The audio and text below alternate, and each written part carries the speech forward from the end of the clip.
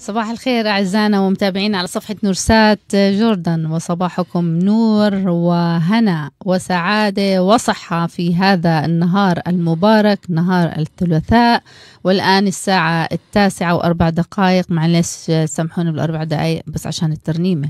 فهذه بدايتنا نحن في صلاة أبانا إيه، بصوت فارس عباسي بنوجه له تحية والتوفيق في هذا الصباح. وأبونا يسعد صباحك يسعد وصباحك نور. صباحك نور دكتورتنا الله يسعد هالصباح كيف كانت الطرقات اليوم الصباح؟ هادية يعني هادية. عم بتلاحظ إنه شوارعنا بطلت مكتظة وكتير لماذا؟ يكون فيها عجقة وعلى هالصبح لماذا؟ لأنه مش الكل دوام كامل. نعم يعني نعم. في هيئات ومؤسسات معطلة كاملة بسبب الإصابة. نعم بتعرف أبونا أنه أريح بيئيا أريح ومصروف الطاقة أريح والناس صارت حتى كمان بمكاتبها يعني بتقدر تعمل شغلها خاصة مثلا نحن الإعلام شغلنا كلياته أونلاين ففينا نقعد في بالبيوت ون, ون نشتغل. آه طبعا إحنا مضطرين نيجي على الاستوديو عشان نسجل ونكون مع مشاهدينا ومتابعينا على صفحة النور سات آه live فلكن بعض الأشخاص يعني اللي مثلا مكتبيا دوامهم آه، المكاتب والشركات أمنت لهم آه، كمبيوتراتهم وعلى البيوت. نعم. صاروا يشتغلوا من البيت فهذا بيوفر هالأزمة والعجقة على الشوارع وال- والمواصلات وال- وتخفيف حتى كمان على المواصلات العامة. فبعتبر إنه هذا جزء كمان من الإيجابي للموضوع السلبي. نعم. لكن نعم أيضا بيمنع يعني البعد الجسدي بنحكي إحنا الاجتماعي بس مش دائما ما بحبش كلمة فيزيائي استخدم وائل هياجن امبارح فيزيائي ال- البعد الفيزيائي. هذا رد علينا لأنه؟ إحنا أول ما أول ما حكى إنه مش اجتماعي عم. اجتماعي. قربنا اجتماعيا لكن بعدنا الجسدي أو الفيزيائي عن بعض عشان نترك مسافة لل لسلامتنا. دكتورة إذا مع استعمال أيضا. بالضبط، نعم إذا تفضل أبونا. إذا بتسمحي لي دكتورة كمان أعاد للإعلام رونقه. نعم. كانوا كثيرين من الكنيسة وخصوصا رجال الدين إحنا إنه يعني الإعلام موضوع ثانوي، اليوم مم. بأزمة كورونا أعاد الرونق للإعلام وأصبح القداديس على الأونلاين فاضطروا الجماعة اللي كانوا ما بدنا نقول يعني متخبيين بس كانوا ما بحبوا يطلعوا المحتواهم كامل للإعلام بخصوا فئات كنيستهم يعني رعيتهم بس. بقول لك هذول الناس اللي بيجوا بيصلوا عندي أنا بعطيهم وعظتهم بعطيهم. هذول نعم. المسؤول منهم أمام الله ضميريا. ولكن اليوم لما كل كنيسة قاعدة بدي كل الكنائس بلا استثناء بتطلع القداديس خصوصا مع نورسات بالتنسيق مع نورسات اليوم عم بنشوف الإعلام أصبح هو حاجة ملحه بطل نعم. الرفاهيه نعم. كان الإعلام قبل كورونا رفاهية. نعم. يعني إنه هيك مشان نبين مناسباتنا ونطلعها لكل الناس ونشوفه. لا اليوم أصبح حاجة ملحه نعم. الكنيسة اللي ما عندها قاعدة إعلامية بتكون يعني كنيسة للأسف يعني ما صوتها ما غايبة. بوصل. نعم. آه بالضبط صوتها ما بوصل. فنحن بنكون كنيسة إذا بعيدة لما ما بنكون متواصلين مع الشعب المؤمن. هي شو هي الكنيسة أبونا؟ جماعة المؤمنين. بالضبط. إذا ما أنت كاهن ال- الرعية أو الراعي ما كان متواصل مع رعيته بأي شكل آه، كان آه، بده يستعمل الوسائل المتاحة والوسائل بالضبط. المتاحة اللي هي الوسائل الإعلامية فنحن كنا جدا حريصين خاصة في فترة آه، كورونا أنه دائما نعطي المجال لجميع كهنة رعايانا بكل الأردن بكنايس الأردن كافة بالتعاون طبعا والتنسيق مع رؤساء مجلس كنائس الأردن إنه نغطي كل أحداث ال- المملكة اللي بتصير بالمملكة من صلوات من أعياد ليتورجيه مثلا احتفلنا الأسبوع الماضي بعيد يسوع الملك. فهلا آه، الكنائس اللاتين آه، احتفلت بعيد يسوع الملك اللي هو نهاية السنة الليتورجية. الأحد القادم سنة جديدة. لأنه الأحد القادم سنة جديدة والتحضير لزمن زمن زمن المجيء. الميلاد فبده يكون زمن المجيء أربع أسابيع تقريبا قبل ما آه، عيد. يجي عيد الميلاد ب 25 12 أبونا نحن اليوم موضوعنا اخترناه لأنه شهر 11 دائما مكرس لعيد جميع الراقدين. والمتوفين اللي انتقلوا إلى رحمة الله. وبصراحة كتير أنا بحزن لما بفتح الفيسبوك صورة وأفتح الجروبات اللي طبعا الواتساب. أسمع كتير انتقل إلى رحمة الله على آه، آه، حالات وفاة صارت خلال إن كانت فترة كورونا أو بسبب كورونا أو بسبب أمراض أو كبر العمر بس صارت حالات نسبة كتيرة كتير. نسبة كثيرة. وصار في أبونا كمان آه، لغط وحكي كتير بموضوع الصلاة على الراقدين. يعني بعد ما يتوفى هذا إنه دائما بذكروه نص السنة أو الأربعين ونص السنة والسنة والسنة الثانية وخمس سنين وعشر سنين. بضلهم يذكروا المرحومين بيصلوا لإلهم. فتساؤل إيه، تساؤلنا وتساؤل جميع المؤمنين خاصة مع خروج عدة كنائس تتكلم بموضوع أنه الصلاة لا تجوز على إنه انتهى يعني هلا موضوع إنه نصلي على الراقدين.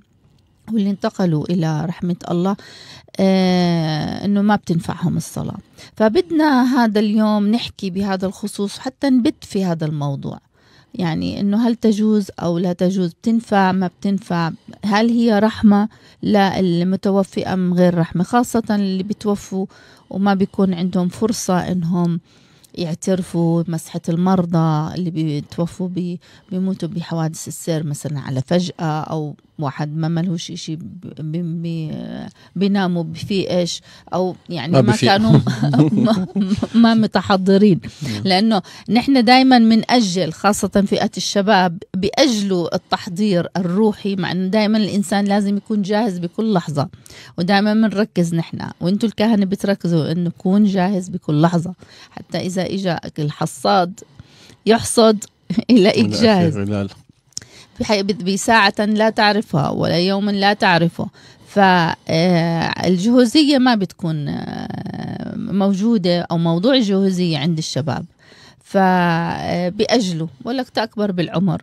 يصير ختيار. تبقى أصوم وأصلي وأتصدق وإلى آخره. فوقتها بيكون إنه صار متأخر. فبدنا نحكي بهذا الموضوع. فشو محضر لنا اليوم؟ أنا محضر كثير بس الضيوف راح يكونوا كمان هم الزبدة يعني نعم. اللي, اللي بيعطي بنبلش بصلاة بعد إذنك نعم ومين راح يكون ضيوفنا؟ غبطة أبينا البطريرك فؤاد طوال ويعني سيدنا سيدنا اشتقنا له. دكتوراه سيدنا نعم. حاصل على الدراسات العليا دكتوراه بالقانون وفي دبلوماسية الفاتيكان عمل في كثير من من الدول قبل ما يشغل وبعد ما يشغل وأيضا بطركنا بتونس نعم هذا آخر شيء بطركنا نعم. بس يعني حافل سيدنا نعم. وكثير سمعت له عظات بهالموضوع. ف يعني اليوم رح نسمع عن جد كلام جوهري يعني نعم ومين كان معنا كمان؟ ويعني دائما نقول عنه ابونا فرح حجازي مرافقنا الدائم أكيد. معلم التعليم المسيحي من أكيد. 40 سنة 50 سنة أكيد. ابونا فرح هو بيعلمنا. نبلش بصلاة؟ إن شاء الله. ريمون تصحبنا بموسيقى هيك؟ باسم الآب والابن والروح القدس الإله الواحد. آمين. يا إله الأحياء والأموات يا من انتصر على الموت وأقام من هم تحت أركون الظلام تحنن علينا وارحم موتانا وبارك حياتنا وبصليبك ذلك الجسر العابر بين السماء والأرض. أصل نوايانا الصالحة لعرش النعمة الأبدية. كي نبقى على الدوام. مسبحين خاشعين في موكب نصرتك. منتظرين يوم اللقاء الرهيب. أن نعود إلى أحضانك. السماوية مسبحين مقدسين كل حين الآن وكل أوان. وإلى دهر الداهرين. آمين. أمين يا أبونا. كان كملتها يا ريمون. خلان جميلة. هذه بحبها كثير هي الترنيم. هذا المزمور. بالضبط. رفعت عيني إلى إلى السماء. رائعة أبونا. وشكرا لهالصلاة الحلوة. وبنصبح على كل اللي معنا هلا على البث المباشر. اللي بنحب نذكرهم بالاسم لكن رح نذكر اللي صبحوا علينا بالكومنتات. آه، نشأة بطارسة الله يسعد صباحكم صباحكم نور. ومريان الحجازين صباح الخير. أحمد شرايحة صباح الخير.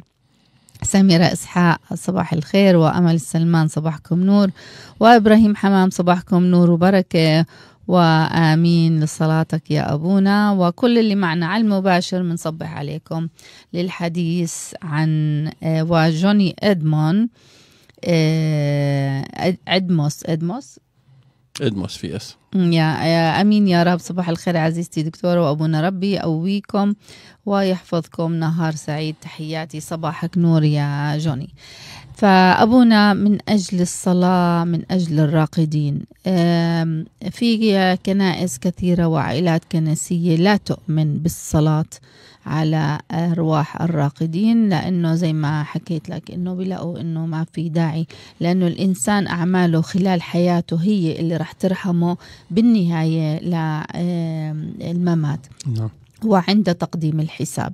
نعم. فنحن كثير كمان بالإنجيل المقدس وبالعهد القديم والعهد الجديد ويسوع. آه، في أمثلة مثلا العازر نعم. والغني. نعم.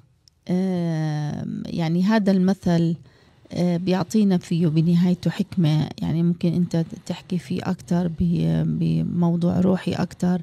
عنا بالعهد القديم مثلا الفلك. آه، من الأمثلة اللي ذكروها بالكتاب المقدس أنه دعا كل ال- الكائنات الحية ومن ما اللي ما قبل يجي أغلق الباب خلق. جديد يعني. خلق جديد آم، فتخبرنا عن آه، لماذا طرح هذا التساؤل الصلاة على الراقدين نعم آه، بداية دكتورتنا الغالية بحب أميز آه، بين النظرة اللاهوتية الكنسية وما بين النظرة الرعوية.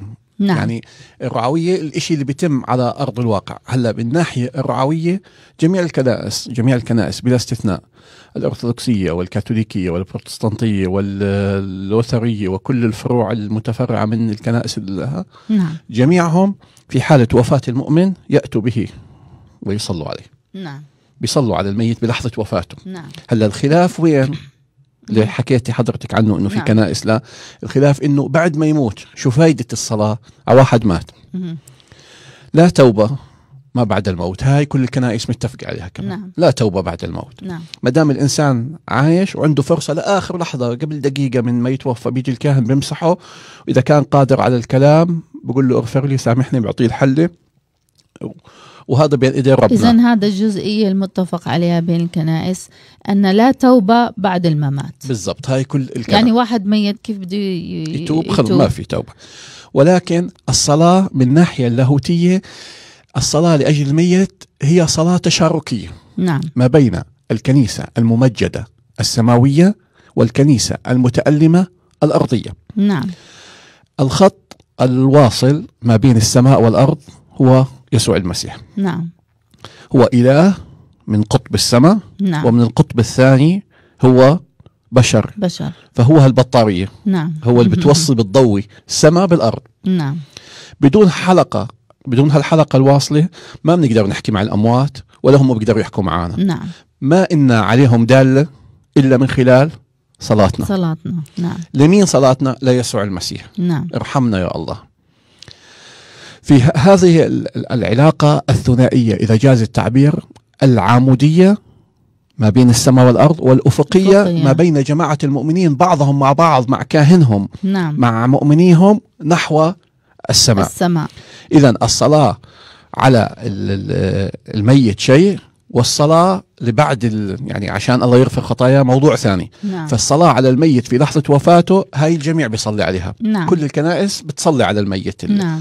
بس هلا بعدين هي مثل ما حكيت أنت هي رعوية تشاركية وأيضا اجتماعية. بالضبط. ب- يعني. بحسها إنها هي ب- كمان بالضبط. اجتماعية. وإذا لاحظتي بتسمية الكنائس لا تسمى بالأسرار. رتبة نعم. الجناز أشباه نعم. أسرار. هي مش أسرار. نعم. هي يعني آه، هي في كثير من الأعمال التقوية. هل نعم. تلاوة المسبح الوردية مع إنها فرض رئيسي مثلا برهبنة الوردية نعم. هي أهم الركن اساسي ولكنها ليست سر من سر الأسرار. من الأسرار نعم. هي أعمال تقوية. نعم. تساعد عوامل مساعد تساعد المؤمن على الدخول في في في الجو. إحنا إيه، زي ما تفضلتي قبل قليل قبل ما نطلع الهواء حكيتي لي أبونا الصلاة مع آه للأموات كمان عشاننا إحنا. نعم. عشاننا إحنا نتعزى بالرجاء نعم. طب أهل المتوفي ال- ال- المتألمين. الفائدين بالضبط الشخص، المتألمين. نعم. أي الأجمل؟ إني أحط لهم مزامير ونصلي ونبخر البيت ونحط شمع ونيجي على الكنيسة إحنا والجثمان ونطلب له الرحمة وندعى له وهيك. ولا انه خلص ن- ن- نحكي مع ديليفري يجي يأخذه ويدفننا إياه يدفنوا، نعم. سلمة. نعم. اذا هي هي هي موضوع عزاء وممكن وعظة الكاهن كمان تعطي كلمة عزاء ورجاء للأشخاص اللي عم بيفقدوا آه، فاقدين مثلا خاصة اللي بيفقدوا مثلا شباب أو بيفقدوا نتيجة حادث أو بإشي فجائي فهن بيكونوا بصدمة. فمحتاجين لحدا يخفف عنهم شدة هذه الصدمة أن آه، لا حزن آه، إحنا إله رجاء اللي من فيه إله حي. فجميعنا صاعدون إليه. لكن هون الموضوع يا أبونا لموضوع التحضير. يعني بالزبط. الأشخاص تحضير الأشخاص الإنسان المؤمن لازم يكون متحضر روحيا آه، تقويا لأي لحظة يكون على آه، مستعد. فهذا الاستعداد لازم الإنسان يركز عليه. الإنسان المؤمن اللي بيآمن بالله في أي لحظة بيجي هالحصاد ويحصد الغلال. ف أبونا كنا بنحكي إنه الجناز الأربعين الثالث والتاسع والأربعين ونص السنة والسنة. هي لكن مثل ما أنت تفضلت هي فقط صلوات تقام تشاركية بين الكنيسة والمؤمنين الأحياء اللي لهم علاقة مع المتوفي فقط للعزاء لا الأحياء. آه، آه، نعم يعني والناحية أنا بحكي الناحية الرعويه الناحية اللاهوتية. هلأ سيدنا البطرك بيجي بالجزئيه نعم. يكون تعليم آه نعم يعني. هلا بنخلي آه يحضر لنا الاتصال ريمون مع, مع سيدنا, سيدنا البطرك آه فؤاد طوال آه بطريركنا السابق للكنيسة اللاتينية في الأرض المقدسة والأردن. فقبل ما نحكي معاه من الناحية اللاهوتية أبونا في كتير أشخاص يعني ما بيرتاحوا لما بيفقدوا حدا أو شخص عزيز عليهم ومتألمين ما بيرتاحوا غير إنهم يجوا يصلوا بالكنيسة. فبصلاتهم بفكروا إنه يعني ممكن يرحموا هذا الشخص إذا كان عارفين إنه هذا الشخص يعني توفى انتقل إلى العلا. وعليه خطايا. كنا ما منا بلا خطية كنا خطأ يعني بس هو الموضوع نسبي يعني. نعم. يعني قديش بي بي بي بيكون. بس إحنا بكل رتبنا صلواتنا التقصية اللي بنصليهن اغفر له كل خطية آه عن كل ما تجاوزوا من خطايا بالقول بالفعل عن معرفة عن جهل. وكل الصلاة هي قائمة على إنه إحنا نطلب له آه نطلب له التحنن والرحمة. ويعني إحنا كنائسنا كلها زي ما تفضلتي على الرجاء نعم. يعني وين في فصل من الإنجيل ما بيحكي عن القيامة وين في أكيد. فصل بالإنجيل ما بيحكي عن الرجاء عن الغد المشرق عن نعم. تعليم يسوع هذا آه، الغني بالقيامة إحنا باختصار إحنا أولاد القيامة نعم. يعني إحنا كل الأعياد لترجيا تتمحور حول عيد الفصح العبور نعم. القيامة من الموت إلى الحياة فهي الفكرة كلها قائمة على هنا. وزي ما تفضلتي المثل الغني والعازر نعم هذا نعم. جواب شافي لكل إنسان بتساءل اليوم نعم. عن مصير الأموات. كلام يسوع كان واضح وصريح بهال بهالموضوع. نعم. يعني اللحظة اللي بنغمض عيوننا فيها من, من الحياة بننتقل ليس إلى مكان. نعم. ليس إلى مكان بل إلى حالة روحية نعم. نعيشها تفضل دكتور. أه صباحك نور سيدنا. أهلا كلكم نور يا هلا. الله يسعدك يا سيدنا وشاكرين لك إنك أنت معنا اليوم في برنامجنا صباح على طول نور والمحبة. معكم على شكرا لك سيدنا. آه، طمنا عنك كيف أمورك وأخبارك؟ الأمور بخير الحمد لله. هادين بالمركز. آه نقرأ ونكتب وبنصلي وبننام. الأمور بخير. أهم شيء صباحك نور سيدنا. الله يرضى عليك اليوم صرنا نسأل أهم شيء عن الصحة. بخير. الحمد لله. الحمد لله الحمد لله. دائما سيدنا. هلا هلا هلا هلا. إيه، سيدنا نحن بخصوص موضوعنا اليوم لماذا نصلي من أجل الراقدين؟ فمن آه. إيه، آه. الناحية اللاهوتية لقينا أنه نحن أنت أكثر يعني شخص ممكن يحكينا من الناحية اللاهوتية بموضوع الصلاة من أجل الراقدين. خاصة وإحنا بشهر 11 عم نحتفل في 2 11 بعيد ال ال ال أنا ما بحب أحكي كلمة الموتى ولا الراقدين على أمل الرجاء القيامة. فتخبرنا من الناحية اللاهوتية هل هل الصلاة يعني بتفيده. تنفع بتفيده للمتوفي أم لا؟ آه اولا أنا بشكر وبهني نورسات والقائمين على نورسات القيام بمثل هذه المبادرات الجميلة. لما يؤول لمنفعة كل المؤمنين خاصة أهل آه، الموتى. نعم الله يسعدك. أطلب لكم. التوفيق في إداء هذه الرسالة. شكرا. كما أطلب من الله أن تحل بركته على كل السامعين لهذه الكلمة. آه، زي ما تفضلتي آه، في مطلع هذا الشهر احتفلت الكنيسة أولا بعيد جميع القديسين. نعم. هناك أيام مخصصة لبعض القديسين. ولكن لما كانت أيام السنة لا تكفي للعدد الهائل من القديسين والشهداء على مدار التاريخ خصصت الكنيسة يوما نحتفل فيه بجميع القديسين. نعم. ولا ننسى بهذا الصدد وإن شاء الله أنتم منهم العدد الكبير من القديسين احياء الذين لا يزالون على قيد الحياة من آباء وأمهات وشبيبة. يعيشون النعمة ومخافة الله والعمل بوصاياه. المهم بعد هذا عيد القديسين بارتباط واضح معه. اليوم الثاني من هذا الشهر نحتفل بعيد جميع الموتى. نسمي عيد احتفال جميع الموتى خاصة الموتى من الأهل والأقارب. نزور قبورهم نصلي لأجل راحتهم الأبدية. نعم. بهذه المناسبة أود أن, أن, أن أركز أنه علينا أن نصلي أيضا لأولئك الموتى الذين ليس لهم من يذكرهم بالصلاة. نصلي لأولئك الموتى الذين قتلوا جراء الحروب في سوريا العراق اليمن بإفريقيا أو أي مكان ثاني أو ماتوا أيضا بسبب الكوارث الطبيعية. نعم. كما كانت الحال كما هي الحال في مرفأ بيروت أو الأمطار الغزيرة مؤخرا في السودان. نعم. بالنسبة للموتى نحن نصلي لموتانا. لا نبكي ولا نحزن كمن لا رجع لهم. نعم. تعزيتنا دوما في مصابنا أن فقيدنا أو فقيدتنا عاش مكرما مات مكرما محاطا بالأهل والأقارب هون هون ضروري جدا نتذكر الأوضاع التي نحن فيها. نعم. فقيدنا والحمد لله وجد من يمسك بيده في الساعات الأخيرة علامة المحبة. فقيدنا رأى الكاهن بجانب السرير يعطيه الأسرار المقدسة الأخيرة يرفع يده ليمنحه الحل الأخيرة. ويقرأ على مسمعيه صلاة الوداع لينتقل بسلام وهدوء وإيمان من هذه الدنيا إلى أحضان الله حيث لا بكاء ولا ألم ولا وجع رأس ولا كورونا نعم نعم. مثل هذا الموت يعني بين الأهل محاطين ومع الكاهن هذا الموت هو نعمة هو تعزية تعزية لاحظتوا وعايشين هذا الوضع السيء منذ عام تقريبا طلع علينا وعلى العالم أجمع فيروس الكورونا. نعم.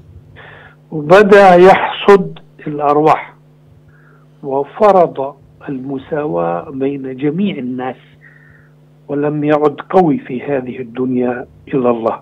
نعم. مهما كان إيماننا قوي والحمد لله إيماننا قوي مهما كان هذا الإيمان قوي الموت مزعج. والخوف من الموت مزعج. والخوف من الكورونا أكثر إزعاج من الكورونا. يعني أصبحنا نعيش على أعصابنا هاي الأيام. نعم. إذا الواحد عطس أو أصيب بلفحة هواء نعم. أو قحة. صار يرتعب. ترجمنا كل ذلك كأعراض كورونا حالتنا حالها نعم. ولا علاج لها ولا مستشفى يستقبل. ولا حكومة قادرة على مواجهة هذا الوباء المزعج. نحن نصلي لموتانا الذين سبقونا لملاقاة السيد المسيح الذي أحبنا وأحببناه وخدمناه بشخص كل محتاج. نصلي لموتانا. أنا أقول والأجدر بنا أيضا أن نصلي لمن هم بعد في قيد الحياة ليهيئوا أنفسهم للقاء الرب.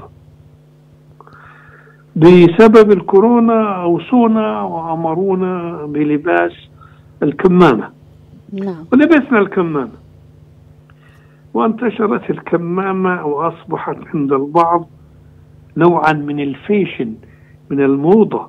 نعم، صارت. الكمامة بتغير لونها بلون الكندرة أو القميص. مش مشكلة مش, مش عينس.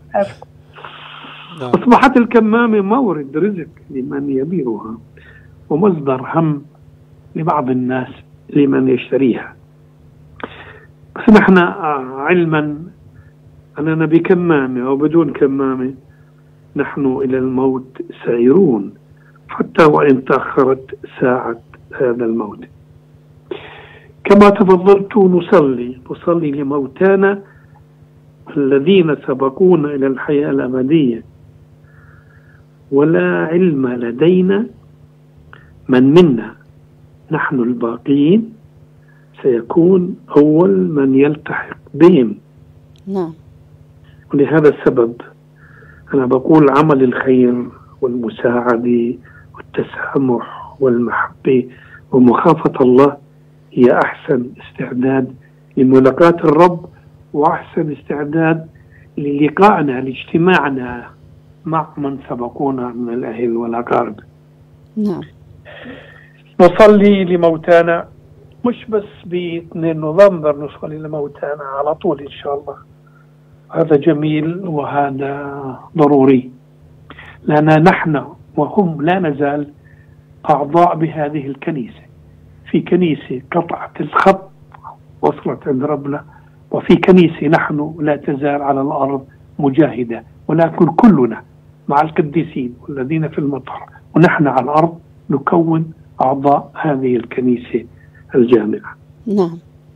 صلاتنا للموتى هي لها طابع أيضا اجتماعي ونوع من التعزية لمن هم بعد في قيد الحياة. الأهل والأقارب ولكن نتذكر أنه في كثير من الأحيان من ماتوا من الأقارب والأحباب هم من من سمائهم ينظرون إلينا يعرفوا آلامنا وصعوباتنا وهم هم الذين يصلوا ويتشفعوا فينا من سمائهم. فنحن بحاجة إلى صلاتهم وشفاعاتهم أكثر مما هم بحاجة لصلاتنا الضعيفة. سكر خفيف. هذه يعني تبادلية سيدنا.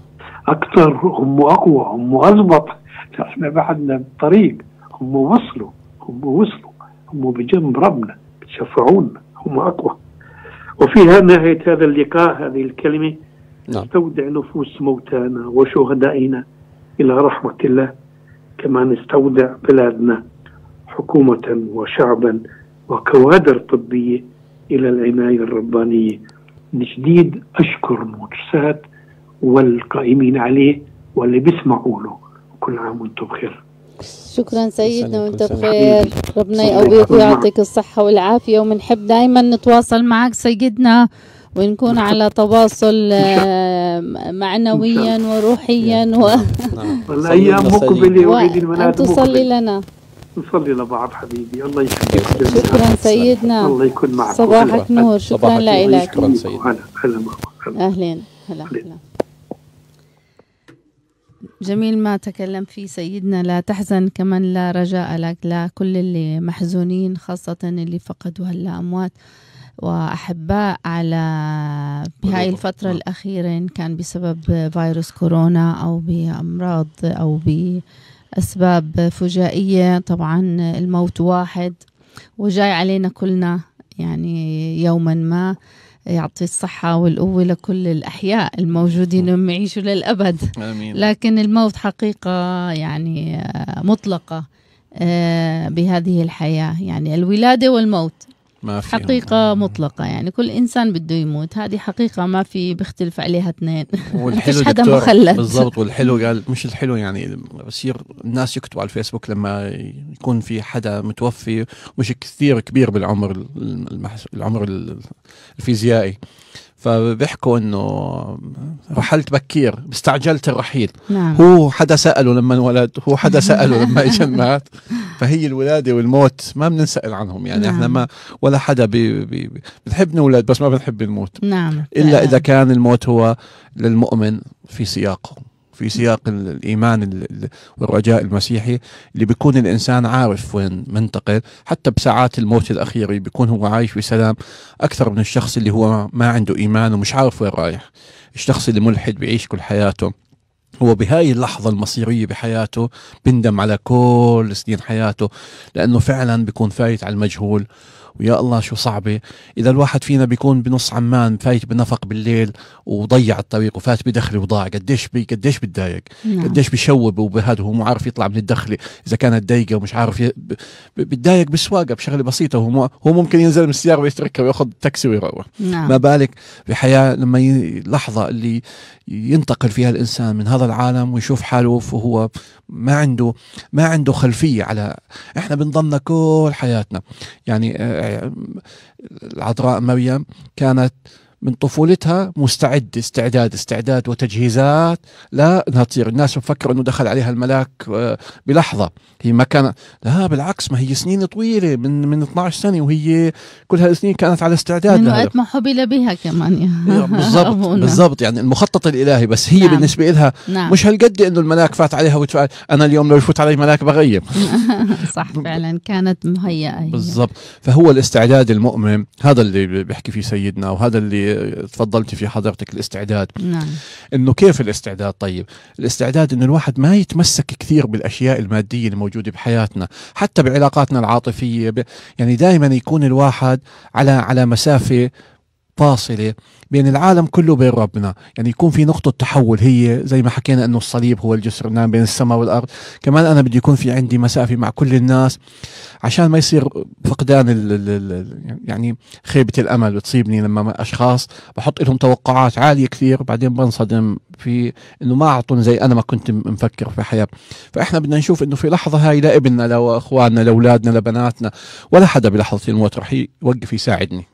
بس يا أبونا كمان نحن آه، ما بدنا نفقد الأمل ب أو رجاء بربنا إنه هو بضله وراء الخاطئ ليرجعه لحضيرته أكيد. على الأرض مش بالسماء يعني بده. يركض وراه لكن على الأرض بضله وراه ويعمل له يعني يعطيه آه، آه، بيهيئ له الظروف وبيحكي معاه طبعا في الأيام اللي بيقدر ينصت فيها لأن الانسان بسمع كلمة ربنا أو صوت الله لما بالصمت وبالهدوء والسكينة لما الإنسان يكون هدوء وسكينة قلبه بيسمع صوت ربنا. فمستحيل بحكي. أنا هذا هذا رأيي إنه زي مثل الخروف الضال. ترك ال 99 و... وراح يدور على الخروف الضال. فكم بالأحرى نحن كبشر وأبناء ر- ربنا اللي خلقنا يضل يدور على الإنسان الخاطئ. فما يعني دائما بعزي نفسي إنه الإنسان ما بينتقل للسماء إلا يكون يعني جاهز. يعني روحيا وربنا يستقبله. لأنه آمين. اعطاه آمين. أعطاه عدة فرص بيكون ولما شاف خلص هذا الإنسان آه، اتطهر وصار إنسان آه، آه، نقي أخذ آه، وداعته زي ما بقولوا. لكن آه، هذا إحنا بنعزي أنفسنا فيه. لكن في بعض الأشخاص التي لا تسمع صوت ربنا لا تسمع صوت الراعي بغض يعني بتشوفه وما بدها تسمعه لأنه هذه هي إرادتها وإحنا ربنا خلقنا بإرادة حرة. بالضبط. هذه الفكرة. نعم. حرية الإنسان. فربنا حكى لنا أنا بدق وأنت عليك تفتح. أنا إجيتك وعم دق بابك. بس وأنت- از يو أنت اللي بدك تفتح يا بتفتح يا ما ما بتفتح. بتردني خائبا وبرجع لمكاني. بس أنا عملت المبادرة لحقت هذا الخروف ورحت على بابه ودقيت. فيا ريت أنا بتمنى على كل المؤمنين إنه لما يسمعوا للصوت الداخلي صوت اللي, بجواتهم لما عم بيعملوا عمل خاطئ أو بيعمل عمل ربنا آه، لا يرضى عليه لا يرضى عنه. آه، يسمعوا صوته ويخليهم يتراجعوا عن هذا الفعل أو يتوبوا عنه إذا صار. يعني التوبة كمان هذه نعمة من عند نعم، ربنا. الله أعطانا إياها. يعني تخيل يا أبونا نحن كل خطايانا وما فيش عندنا توبة. يا ويلي. يا بده يصير فينا عذابنا. نحن ب... نحن عايشين بجهنم. ساعتها. طبعا. عايشين بنار ال- الخطيئة. فهالموضوع التوبة هذه نعمة كتير طبعا. كبيرة. هذا سر يعني كتير كتير آه، من المهم من الأسرار اللي الرجوع على عن الخطيئة أو التوبة عنها عليها يعني كل إنسان بيخطئ. آه، ربنا بقول لك آه، بالأمثلة والكتب الكنسية والتعليم الكنسي بقول لك القديس سبعين مرة بيخطئ في اليوم.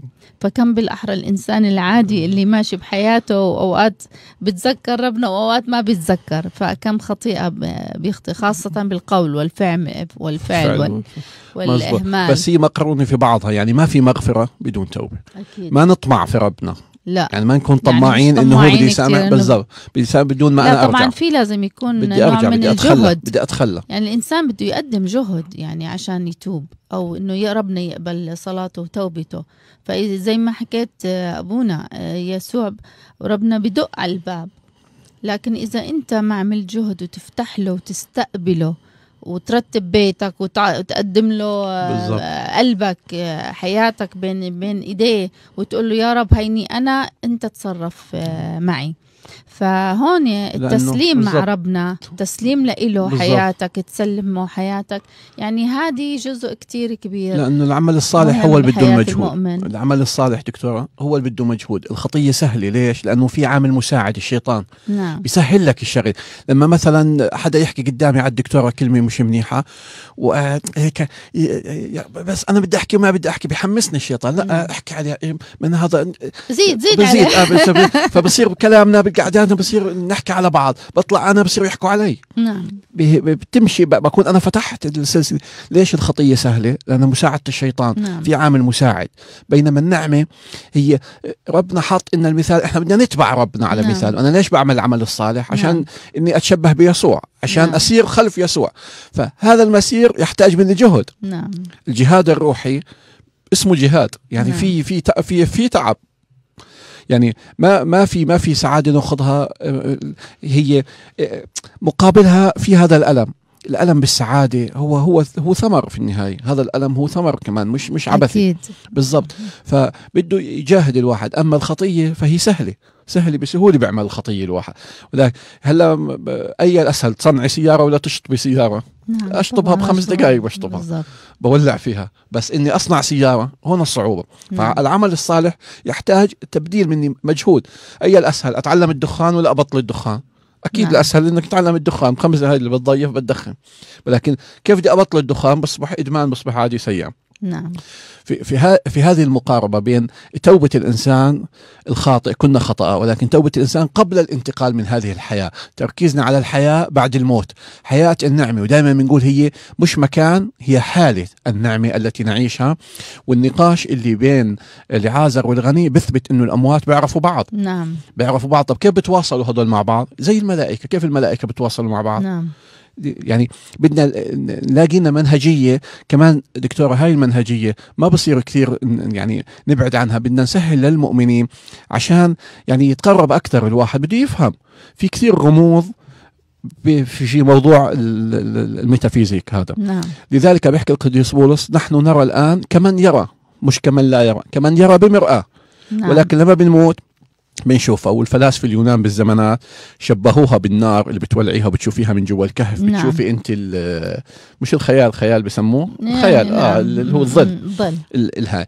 ولكن لما بنلتقي بيسوع بنشوف يسوع حقيقة نعم. حقيقة ملموسة في حياتنا. نعم. لذلك يجب أن نحكي دائما للتعليم المسيحي للشبيبة للعاملين. للكل أنه الحياة الأبدية ليس فكرة لاهوتية فقط هي حياة هي حياة عن جد رح نعيش كيف اليرقة اللي بتطير بتتحول لفراش. إحنا بس نموت بنطير لإشي ثاني لأنه هاي. إلهنا يا أبونا إله أحياء مش إله أموات زي ما. ذكر في الكتاب المقدس ونحن رح نحكي كمان أكثر لاهوتيا مع أبونا فرح حجازين آه، بنحضر الاتصال آه، معاه الآن آه، وبنطلع هلا فاصل ولا ريمون لا بعتقد يعني في في هلا نعم في فاصل هلا فاصل آه. ونواصل زي ما بتحكي. عدنا إليكم أعزائنا ومتابعين على صفحة آه، نور ساد جوردن برنامجكم الصباحي صباحكم نور. والآن معنا على الهاتف الأب فرح حجازين أبونا يسعد صباحك صباحك نور. للصباح من الصبح. الله يسعدك يا أبونا. صباحك نور أبونا. كيفك اليوم؟ كيف أصبحت؟ نشكر الله بخير. الله يخليك أبونا. أبونا نحن نعم أعطينا هيك مجال على الصبح وقول بلاش نحكي عن الأموات وسيرة الأموات على الصبح يا فتح يا عليم ف... فقلنا هيك شوية تروح وتشرب القهوة. وتروق لأنه الناس عم تبعت لنا كومنتات بقول لك شو هالموضوع على هالصباح لكن نحن طبعا كون إنه هذا شهر نوفمبر دائما بنحتفل في بدايته بعيد جميع القديسين وعيد الراقدين جميع الراقدين على رجاء القيامة آه، أو ما يدعوه جميع الموتى. ف 2 11 فأبونا هو السؤال اللي دائما بيطرح نفسه وبيتكرر عدة مرات وبتضلت الناس يعني تردده إنه هل تنفع الصلاة آه، للموتى؟ خاصة لما بنصلي لهم نص السنة بعد مرور ست اشهر وبعد سنة وبعد سنتين. فموضوع الصلاة على الموتى هل هي صلاة من أجل مغفرة خطاياه؟ هل هي من أجل توبته؟ هل هي من أجل إذا بعض الكنائس تؤمن أنه هناك موجود في مطهر ونتيجة شفاعة أو صلاة المحبين الصلاة تقدم لهذا النفس هاي ال هاي ال هذا الشخص أنه سوف يتطهر ويرجع عند ربنا.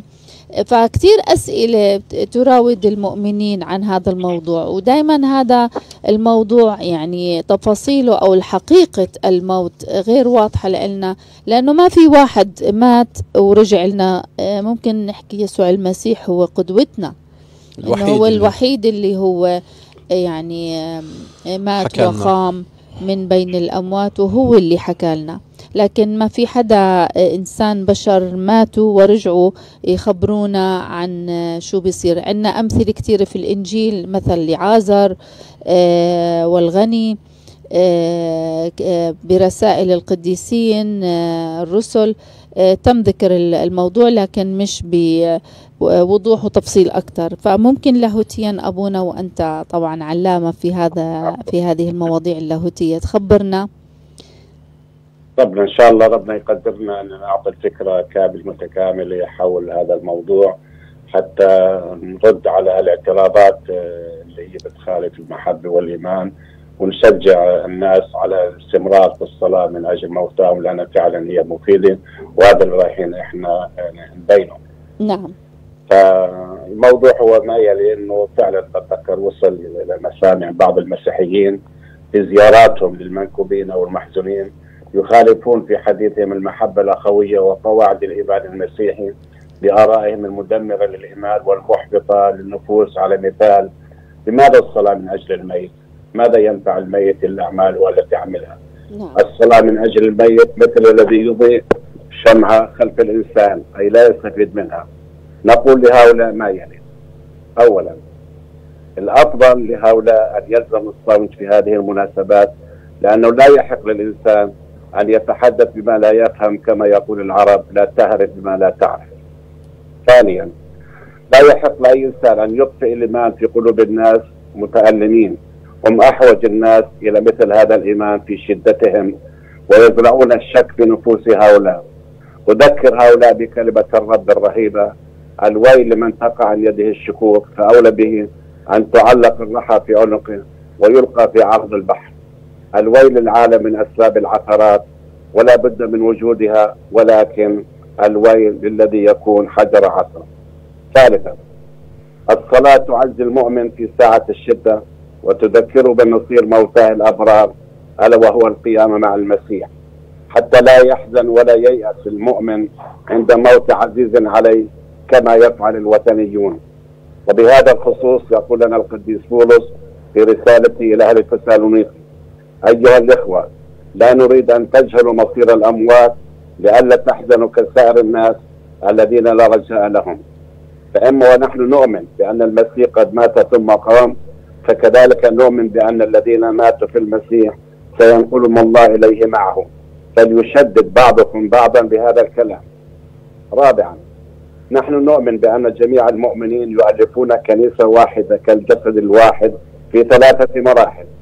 الكنيسة المنتصرة هم سكان السماء الكنيسة المجاهدة سكان الأرض الكنيسة المتألمة سكان المطهر. وهؤلاء جميعا يؤلفون جسدا واحدا كما يقول قديس بولس. وهذه الأعضاء تتعاون معا لخير الجسد العام. نحن في كثرتنا جسد واحد نعم. في المسيح لأننا أعضاء بعضنا لبعض. ليتم الأعضاء بعضها ببعض. فإذا تألم عضو تألمت معه سائر الأعضاء. وإذا أكرم عضو سرت معه سائر الأعضاء. فأنتم جسد المسيح وكل واحد منكم عضو منه. خامسا الصلاة من أجل الموت مفيدة بشهادة الكتاب المقدس لعهديه القديم والجديد.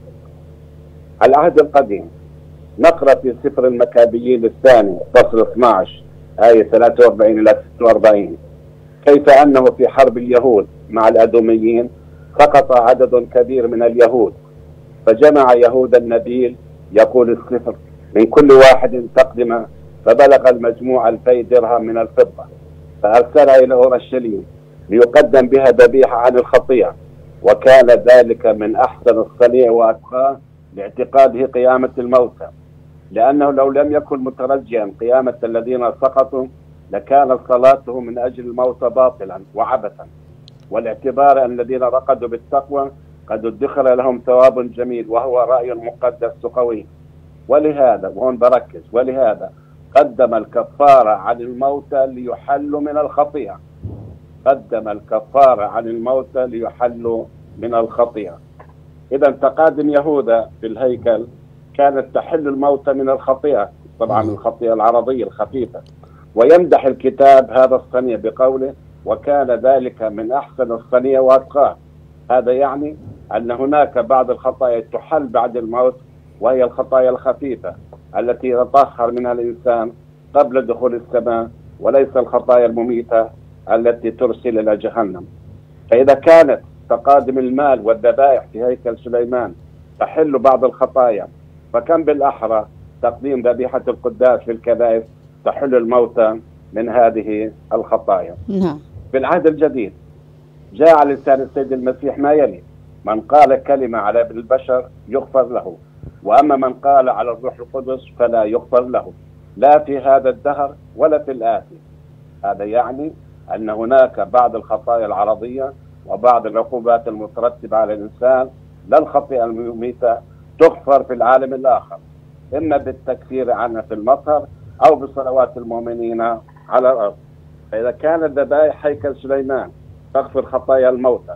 فكم بالحر صلوات الكنيسة وذبيحة القداس تغفر الخطايا التي يتكلم عنها السيد المسيح والتي تغفر في العالم الثاني.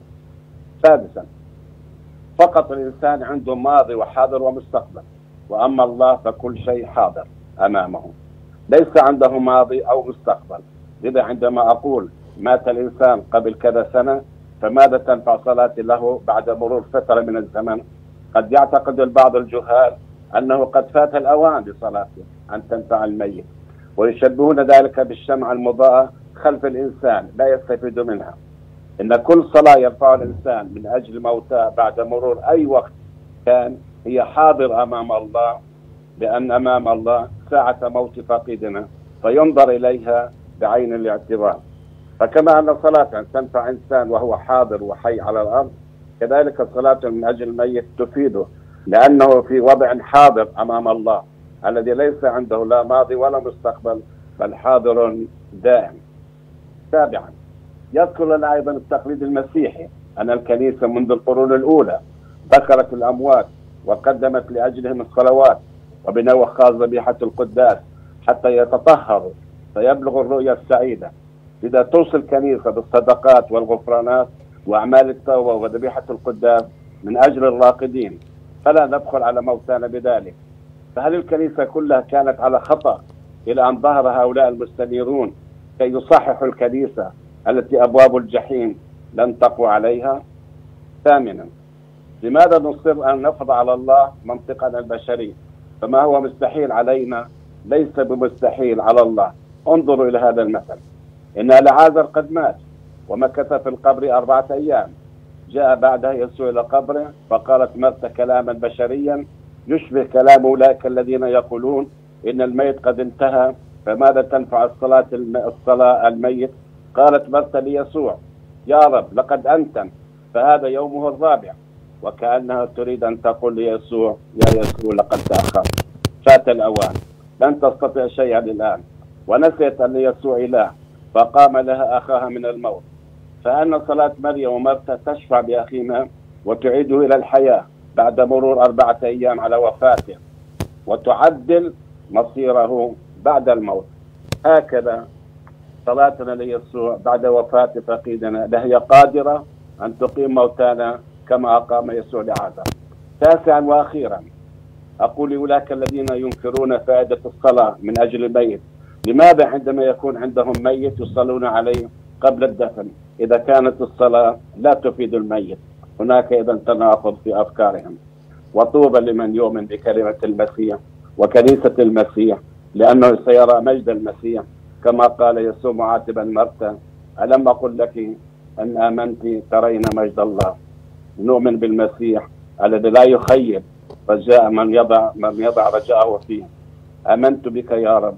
فزدني إيمانا وأبعد عنا أولئك الذين يزرعون الزوان في حقله ويطفئون الإيمان في قلوب مؤمنيه هذه كلمة بتمنى أن تكون رد على أولئك الذين ينكرون فائدة الصلاة من أجل موتانا. وشكرا. يسلموا يا أبونا وشكرا لك على هالتحليل يعني العميق واللاهوتي والإيماني اللي بيعطي الرجاء للإنسان اللي يرقد على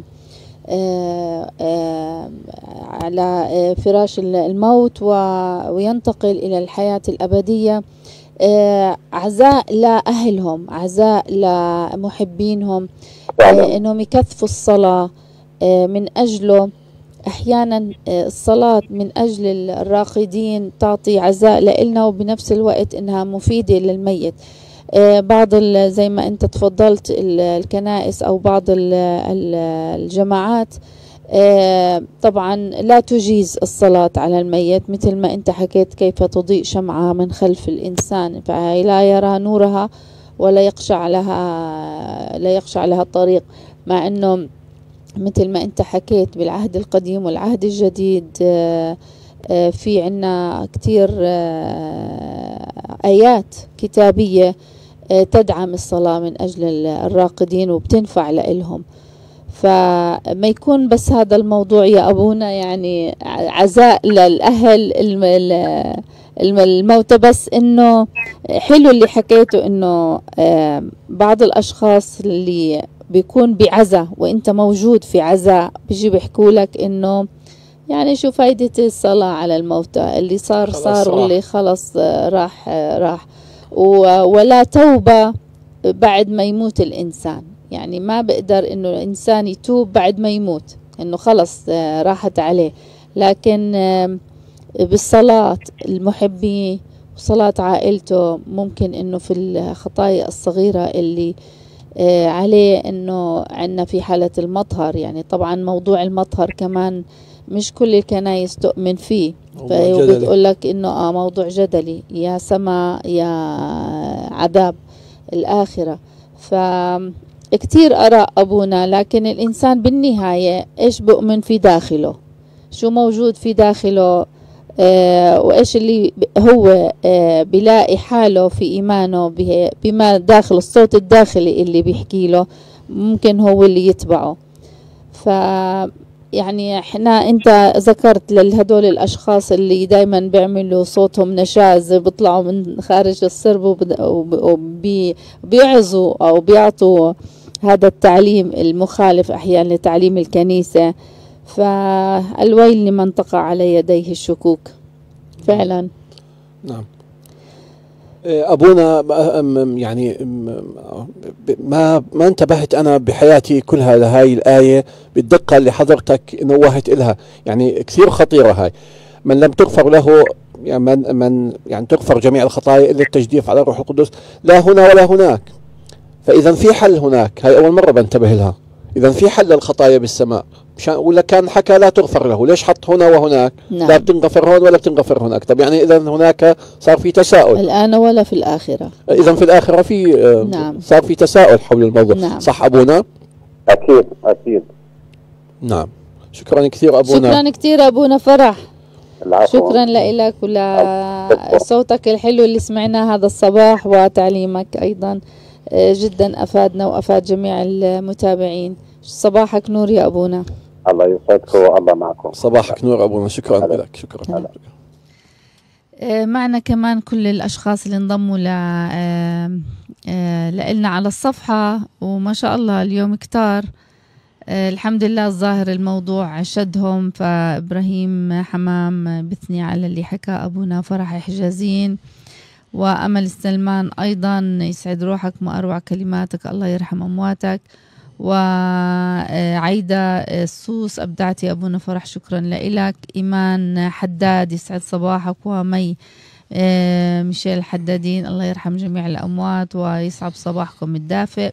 يولا حتر الراحة الأبدية عطي يا رب. آه، أهلا وسهلا فيك يا يولا. وبسمة هلا يسعد صباحكم بكل الخير. وريما نصراوين يسعد صباحك آه، أخت آه، ريما أم عيسى. وعبير العص... العصافين دبابنة آه، يسعد صباحكم صباحكم نور.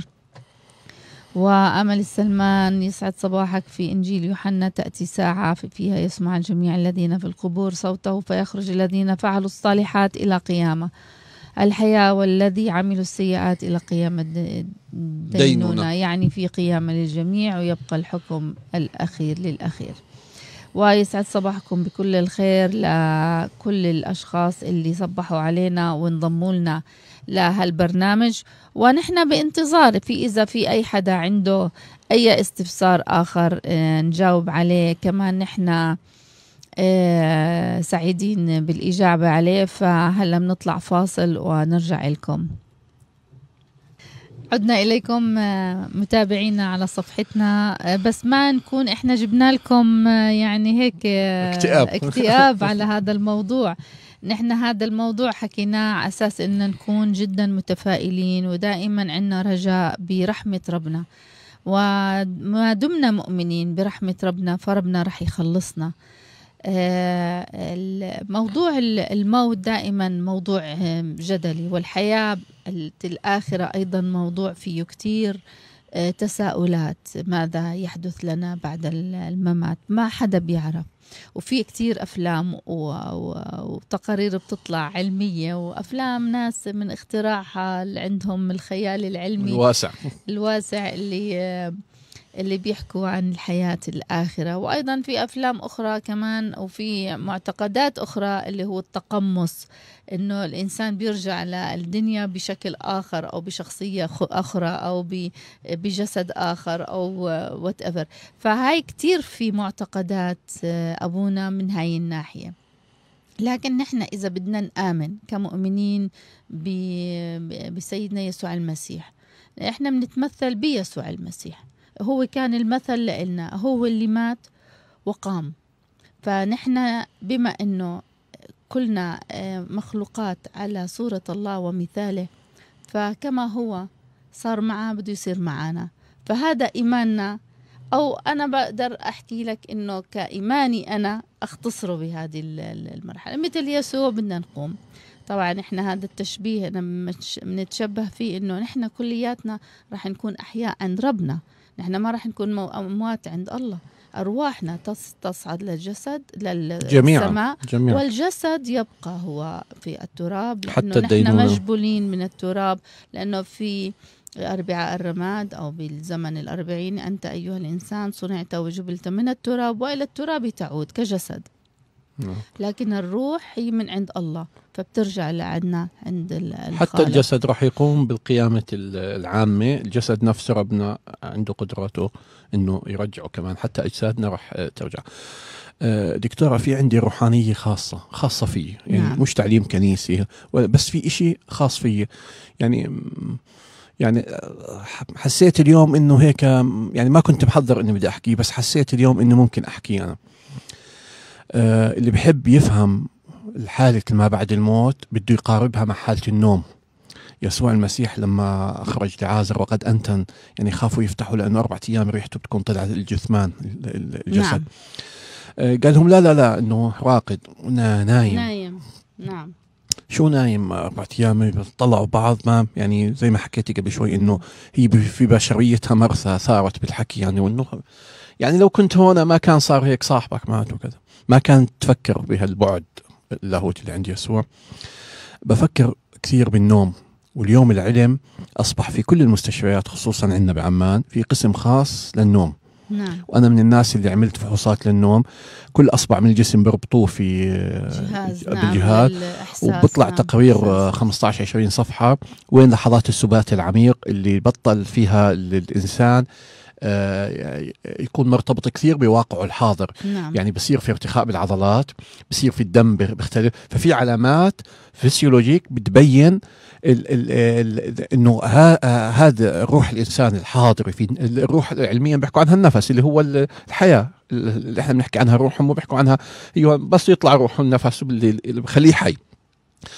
ينتقل الإنسان من ع... من هذا العالم لاي مكان بده إياه ببطل فيه ال- القدرة ببطل فيه أي شيء فيزيائي. بدي أطلع على أي مكان بالعالم بطلع عليه بحضر. هلأ قديش في عند إمكانية الإنسان في حالته الصح ولما بيصحى يطلع ال memory هاي اللي خزن عليها هاي قديش يقدر يشوف فيها ويقدر يحطها في مستوياتها الثلاثه ما بين المستوى المستوى تاع سيغموند فرويد اللي هو بيحكي إنه الأشياء اللي بت- بتشوفها الصبح بتحلم فيها بالليل وهي أشياء طبيعية هرمونات بتفرز هذا كل شيء. وما بين الرؤى اللي هي مثبتة بالكتاب المقدس رؤيا يوسف خطيب مريم لما ظهر الله في الملاء في كثير من الناس المؤمنين البسطاء العاديين تجيهم رسالة وبتتحقق. يعني أنا كثير صار معي شغلات شفتها بالحلم وشفتها بالواقع بعدها بفترة. لأشخاص إني حضرت جنازتهم. بنفس اليوم دكتورة حصلت معي. اللي بالليل حلمت فيها وحضرت جنازتها بالليل الصبح صحيت على خ... على التليفون خبر وفاتها. يعني ال... ال... الله يستطيع أن يخاطبنا كثيرا بالحلم. آه، لذلك اللي بده يفهم العالم الميتافيزيك العالم الماورائي بده يفهم اللي بصير معنا بالأحلام. ويقدر يربطها مع آه، واقع الميتافيزيك الحياة ما بعد الموت. وفي كثير للأسف بقول لك إنه الإنسان زي أي كائن حي بس تطلع روحه خلاص بتنتهي حياته. ممكن يتحول لبترول ممكن يتحلل لشيء ثاني ممكن نظريات التقمص لشيء ثاني. هذا بعيد كل البعد وتحارب الكنيسة وكل الديانات. ما في دين بالعالم حتى الهندوسية حتى الزرادشتية حتى البوذية ما في دين اليوم بيقبل إنه الإنسان كباقي الكائنات بيختفي.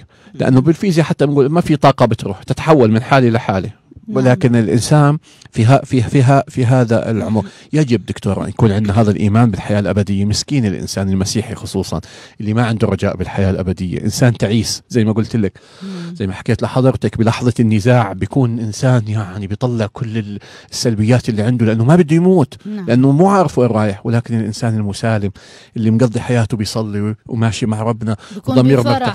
بالضبط إنه زهق الحياة اللي هون خلص خصوصا اللي لفوا رؤية بالضبط. ولا في زي ما حكى غبطة سيدنا البطرك لا في كورونا هناك ولا في كمامة. فقديش الإنسان يعمل روحانية خاصة له دائما بنشجع المؤمنين. لازم يكون عندك أب اعتراف أو راهبه مرشد مرشد, أو تكون نعم. بالضبط. يعني هاي هاي بتساعدك من الناحية الروحية، ليش إحنا لما بنمرض بنروح عند الطبيب، لما بيرتفع ضغطنا بصير بدنا حبة دواء، طب ليش بنهتم بجسدنا بال بال بال body building بال بالجيم بالرياضة بال نعم. نهتم فيه، طب ليش ما بنهتم بحياتنا الروحية؟ نعم. ليش بتمرق أشهر بتمرق سنوات وإحنا ما بفوت الكنيسة؟ نعم. ليش ما بنعمل هذا التواصل هذه الرجعة؟ فحصة الضمير لحالي شكل وبمرشد معي آه، بطريقة بطريقة مساعدة ومساندة لحياتي الروحية إذا اليوم أخذنا جواب لماذا نصلي لإخوتنا الراقدين؟ نصلي أولا لأجل المشاركة باللخص اللي حكيناه لأجل مشاركتهم. هناك بعد اجتماعي العزاء اللي بنساند بعضنا بعضنا فيه بنوقف آه، مع بعضنا. هناك البعد اللاهوتي اللي حكى عنه ختامة أبونا فرح وطال شهود أنه إذا كانت الذبيحة اللي كانوا يقدموها الآباء بالعهد القديم كانت تساعدهم. ما بالكم نعم. اليوم الذبيحة اللي إحنا بنقدمها على الهيكل اللي هي ذبيحة يسوع المسيح؟ نعم. يعني no way إنها ما ما ما, تساعد هال ما تساعد هالناس. الراقدين نعم. خصوصا بالعقيدة الكاثوليكية يعني إحنا لما بنقول إنه إحنا في في في فترة تكفير عن الخطايا قبل الوصول للمجد لأنه الإنسان بيكون بعد ينقص مهما سما في حياته الروحية ينقصه في فترة جهوزية. ويتنج بده يتجهز فيها نظرة الكنيسة الكاثوليكية. وتاليا فهذه الصلوات بتكون أكيد داعمه ومفيده وبشكل عام يعني بكل الكنائس يعني الصلاة هي عمل عمل مشترك. صلي لأجلنا. صلي. يا لما بنصلي لمريم العذراء بيحكوا الشفاعة وما الشفاعة وما لا إحنا بنقول مشاركة بالصلاة. يعني مفهوم الشفاعة شفيع واحد هو يسوع المسيح. كمان نعم. هذا الموضوع ممكن نعمل عنه حلقات يعني. نعم. بدناش نفوت فيه هلا. نعم. في ختام الحلقة قديش ضل معنا وقت؟ لا في معنى كمان شوي عشر دقائق في في معنى فخلاصة الموضوع إنه هو موضوع تشاركي ما بين الكنيسة الممجده وما بين الكنيسه الأرضية جميعنا أولاد كنيسة واحدة. يعني أبوي اللي توفى وطلع على السماء ما ما راح يبطل أبوي ما راح يطلع من عيلتي ما راح يطلع من حياتي الروحية. واليوم يجب إنه نأخذ الرجاء والعزاء انهم مبسوطين انهم مرتاحين. مش بس عشانهم عشاننا إحنا عشان إحنا نقدر نكمل حياتنا. طب إذا بدنا نموت ليش نكمل حياتنا؟ خلينا نموت هلأ. ليش انولدنا بصير في أسئلة تعجيزية. بصير في أسئلة زي اللي حط الشمعة من من من بالضبط من وضع آه، سراج اضاءه لا يضع عليه المكيال. بيسألوني طلابي وبشرح لهم على الأونلاين. أبونا إيش هو المكيال؟ قلت لهم في إيش بيعبوا بالكوباية؟ نعم. بدك تعمل تطبخي ثلاث كاسات رز بتكيسي بالمكيال. فالسراج لما بيحطوا بيجيبوا المكيال اللي بيقيسوا فيها شعير أو بيحطوها فوقيه بيغطوا عليه. طب ليش ضويتوا لا نعم. فهي الله أعطانا هال- هالسراج الله أعطانا الكتاب المقدس اليوم إنجيل بدنا نفتش فيه. بدنا نصلي اخوتي الأحباء فيه. ما بي الأجوبة اللي ابونا جورج ما بيعرف يجاوبنا إياها اللي الكنيسة بتوقف متأملة فيها في كثير من ال- من الأسئلة. هو طب- أبونا مش إنه ما بيعرفش يجاوبوا أو هن أوقات عندهم فكرة بت... أوقات بيكون عندهم فكرة وما بدهم يغيروها. يعني في بعض الكنائس اللي بتن... بتقول إنه لا تجوز الصلاة بعد الموت. ما بتفيدهم الصلاة بعد الموت. آه، هدول عندهم فكرة قد ما بتحكي لهم وبتجيب لهم آيات من الكتاب المقدس وتجيب لهم العهد الجديد والعهد القديم. أحكام مسبقة خلص, خلص. آه عندهم هاي الفكرة إنه ما لا تفيد. فمثل واحد من التعليقات الأشخاص الأصدقاء اللي حطينا هلا اليوم على الصفحة بقول لك إنه على سيرة الدواء مثلا. إحنا بنقول إنه هلا الفيتامينز بتاخده بقول لك إذا ما بيضر ما ب- ما بيفيد بضرش. بضر. فالصلاة بيقول لك هذا الواحد من المعلقين بيقول لك الصلاة يعني ما بتضر. يعني ممكن تفيده ممكن ما تفيده بس هي ما بتضر. فبدنا نضلنا نصلي. يعني. فادته أو ما فادته الصلاة مش مضرة. فإحنا بنصلي لأجلنا إحنا آه الأحياء. هذا العمق هذا الكلام. وبنصلي لأجل الموتى. ما والراقدين ليه لا؟ ليه لا؟ يعني ما بتضرهم الصلاة. الصلاة أكيد. بكل الأوقات راح ولكل. الأحياء. الموجودين على الأرض أو الأحياء الموجودين بالسماء ما بتضر. وأيضا نطلب صلاتهم. للي إحنا متأكدين مثلا إنه هذا الشخص عند ربنا رح يكون موجود نطلب صلاته لإلنا طبعاً. كمان. لأنه هو ممكن كمان يتشفع لنا بما إنه في كنائسنا بيؤمنوا إنه في شفاعة القديسين والرجال ال- الأطهار اللي صعدوا إلى السماء وموجودين عند ربنا. ممكن إنه هدول يصلوا لنا كمان. فلما لا الصلاة؟ يعني ليه نمنع الصلاة عن الموتى؟ ليه أمنع عن الصلاة عن الأم صلاتها لابنها المتوفي أو الأبن لأمه المتوفية أو لأبوه أو لعيلته أو لحدا من أفراد أسرته. يعني ما في كمان بحكي لك بقول لك أنا بصلي للي توفوا يعني آخر فترة. اللي متوفين قبل 30 و40 سنة صاروا منسيين. لا عيد هو جميع ال- ال- الموتى. ب 2 11 بيصلوا كل الأموات اللي نحن بحياتنا الأرضية اللي ماتوا وتوفوا زي عيد جميع القديسين. لا بالصوم كمان نذكر بتصلي أمواتنا كلهم. نذكرهم آه، نحطهم على لائحة. كل اللي مروا بحياتنا وفقدناهم الأشخاص اللي بعزوا علينا نذكرهم في قداس ونصلي من أجلهم. ليه لا. إذا ما فادت الصلاة ما بتضر. لا بتفيد أكيد يعني. لكن بتفيدنا أنا. يعني قد إيه أنا بكون بشعر بسعادة لما بقدم قداس عن آه، راحة نفس وأسمع هدول اسم هالشخص. الميت وأنا بسمع صوته. الناس تتذكره. بالضبط. فلان لفلاني وفلان لفلاني. يعني كتير أوقات على لما بروح على القداس وبتكون لائحة طويلة أوف بقعد أبونا خمس ست دقايق ولا عشر دقايق وهو يذكر الأموات فلان وفلان وفلان وفلان فلان لكن أوقات في من هدول الأسماء برن براسي يعني نعم. بيكونوا من أبناء الرعية اللي بنعرفهم. الكبار بنعرفهم وهيك بتذكرهم فكلمة الله يرحمون يعني ونصلي لإلهم. كتير حلو. طبعا. إحنا لم- كنيستنا تشاركية. لماذا يعني لا؟ كنيستنا هي نحن الجماعة المؤمنين مشاركون بذبيحة ربنا الملتفين آه، حول هالمذبح. بنصلي لبعض وبنصلي مع بعض ولأجل بعض. ليه لا؟ فأنا كتير يعني حتى لو إنه هن بيعتقدوا إنه الجماعة اللي ما بتآمن بالصلاة للراقدين أو الموتى إنها ما بتفيد لكن ما بتضر. فالصلاة واجبة علينا وصلاتنا هي واجبنا لكل الراقدين ولأحبائنا أصلي ل ل مثلا الله يرحمها آه، حماتي. نعم. كانت إنسانة عن جد يعني قديس آه، أبونا لأنها عاشت القداسة على الأرض وكانت عايشين معاها. يعني ون- ون- ونرى إنسانة كانت مضحية لعائلتها ولأولادها. وكان عندنا إنسان مريض ذا حاجات خاصة كمان. كرست حياتها من عمره لهذا الشخص 55 سنة عاش. فوهي ترعاه. وزائد إنها آم، تألمت في بداية حياتها يعني آه، بعد كم سنة إنها آه، أصبحت أرملة وتوفى آه، اللي هو حماي يعني أنا ما كتير عشت معاه. لكن توفى وظلت هي ترعى العائلة وتربيها وتكبرهم. وأنا بعتبرها إنه هاي إنسانة قديسة على الأرض. طبعا طبعا طبعا. عاشت القداسة في حياتها على الأرض. إنسان يعني أرملة ربت أولادها زائد كان عندها ولد مريض. فعم نقول هذا الولد المريض جاء لهذه العائلة عشان ترعاه. قدسها وعشان يقدسها. وعشان يقدسها وعشان ترعاه. لأنه لو ممكن بعائلة تانية كان ممكن أهمل. أو إنه ما تمت رعايته لكن كان على يعني شهادة الأطباء يقولوا مثل هيك أشخاص بولدوا بهيك مرض ما بيعيشوا الوقت نعم، هذا هذا. العمر هذا ل 55 سنة فبالنسبة له كان إنسان معمر وأيضا حتى ب record تبع جينيس كان أكبر معمر بهذا بهذا المرض على الأرض. يا سلام. يعني كان بينه وبين الشخص معمر تاني سنة. يعني لو قدمنا نحن شهادة ميلاده لهذا الشخص بكتاب جينيس كان هو أخذ آه، الريكورد. بس من. العناية وال- والرعاية والمحبة يعني والعيلة.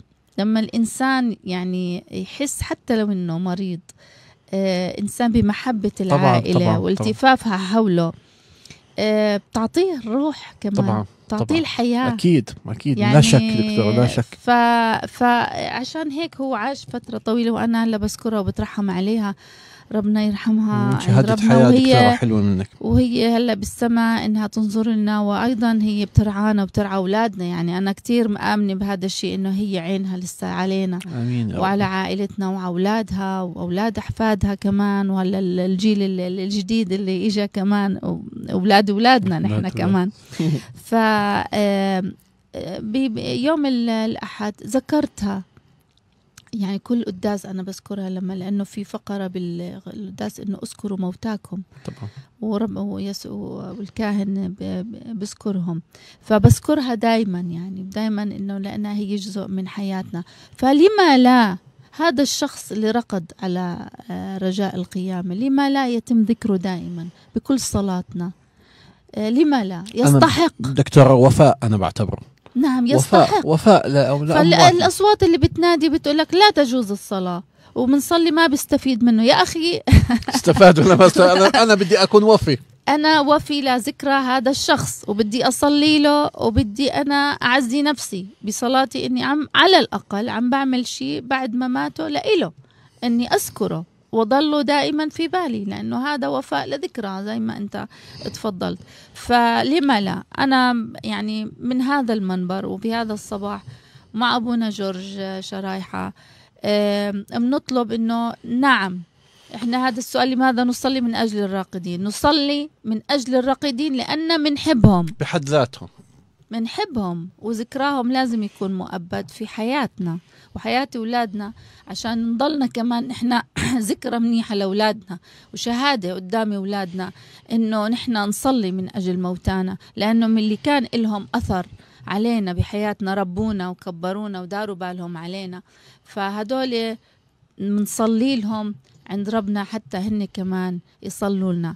فاحنا بنتمنى إنه نكون جاوبنا على موضوع لماذا نصلي من أجل الراقدين و استفادوا ما استفادوا آه، تجوز أو لا تجوز ولاهوتيا واجتماعيا ورعويا. يا أبونا مع احترامي لكل الآراء يعني لكن المحبة هنا تكمن جوهر المحبة لما بصلي للأموات مثل ما بصلي للأحياء. فأبونا في ختام نحن كمان حلقتنا إذا كلمة أخيرة بتحب تضيفها لل... أه بحكي اللي حكينا. نعم آه، بكل الكنائس في كتاب آه، إحنا بنسميه بكنيستنا الأفخولوجيون. في بنصلي فيها لكل الأشياء بنصلي فيها للأدوات اللي بنستخدمها. يعني لسياراتنا في صلاة خاصة للسيارة. نعم. في صلاة خاصة للمصعد للبيت. إذا بنصلي يا أخواني الأحباء للجمادات بتكونش تصلوا لأحبائكم اللي عاشوا معكم وانتقلوا للحياة الأبدية صلوا ولا تملوا. فعلا فعلا نصلوا ولا نمل. ولا تحزنوا كمن لا رجاء لهم. كمان أيضا فمنضلكم كلكم مبسوطين ودايما فرحانين بكل الحب والمحزونين آه إنه ربنا يعطيهم الرجاء العزاء. في إنه آه، هدول الأشخاص اللي هن آه، فقدوهم إنهم موجودين في حياتنا بأرواحهم موجودين عند ربنا. وكلنا يعني الموت هي حقيقة مطلقة موجودة مثل حقيقة الحياة فمن آمن فيها. فبنطلب الرحمة على جميع الراقدين الله يرحمهم. وبنطلب صلاتنا كمان. لهذا في ختام هاي الحلقة. أبونا صلاة خاصة آه، منك لجميع الراقدين في هذا الشهر آه، شهر نوفمبر. وبنتمنى الصحة والسلامة للجميع. وتكونوا بسلام من كورونا. احفظوا نفسكم احفظوا حالكم. دائما بالأدوات اللي تقيكم من الفيروس باستعمال الكمامة وأجهزة التعقيم. بدنا نضلنا نحن مستمرين. لحين ربنا يرحمنا بهالمطعوم ويوصلنا لأنه المطعوم مثل ما عرفنا يعني بحاجة ل مبالغ. مش غير هيك مبالغ أبونا. بحاجة لطريقه معينة لحفظه تخزين. يجي من برا لأنه لا واحد ثاني هلا. لا درجة حرارة لازم تكون minus 80 أو 70 تحت الصفر. فموضوع الحفظ وكيف يجيبوه ويحافظوا على هاي درجة الحرارة اللي minus 70 يعني هذا عندك يكون مادة بعتقد نيتروجين لازم يكون محفوظ فيها. وأيضا في أولويات أبونا للمطعوم أول ما يجي اي ثينك الجيش والأطباء والكوادر الطبية بدها هي آه، تطعم وكبار السن أيضا كمان يطعموا في البداية وبعدين نيجي لشعب. للشعب الباقي. ملايين ملايين. للشعب الباقي. لكن حكومتنا أكيد راح آه، تنظر لنا جميعا يا أبونا. ربنا يقويها. وتقدر تقوم بهالمهام لأنه هي في تحدي صعب خاصة هذه الأيام. فإحنا بنتمنى لهم كل الصحة والخير وإنه دايما مداومين على حمايتنا بقراراتهم بتوصياتهم ب... آمين يا رب. الله كمان صلاتنا اليوم لإلهم. نعم. وبنصلي لكل الأشخاص الأطباء اللي انتقلوا إلى رحمة ربنا. من وراء هذا الفيروس يعني الله يرحمهم جميعا ويحمي الباقيين آمين يا رب. صلاة ختامية ونختم حلقتنا صباحكم نور. بسم الآب والابن والروح القدس الإله الواحد. آمين. آمين. أيها الثالوث القدوس ارحمنا واسكن جميع أمواتنا في مساكن الصديقين حيث لا وجع ولا حزن ولا تنهد بل حياة أبدية. آمين. آمين. يسعد صباحكم صباحكم نور أعزائنا ومتابعينا على صفحتنا ولكل اللي كتبوا تعليقاتهم. إن شاء الله بنكون بهاي الحلقة قد أجبنا على التساؤل لماذا نصلي من أجل الراقدين. بنطل عليكم الأسبوع الجاي يوم الثلاثاء بنفس الوقت الساعة 9 صباحا. فصباحكم نور وإلى اللقاء. كل الهدى صباح تعبان بهمك. عندك كلمة تريح قلبك. ترجع الدنيا بتضحك لك. نور ساتي ليل وميل.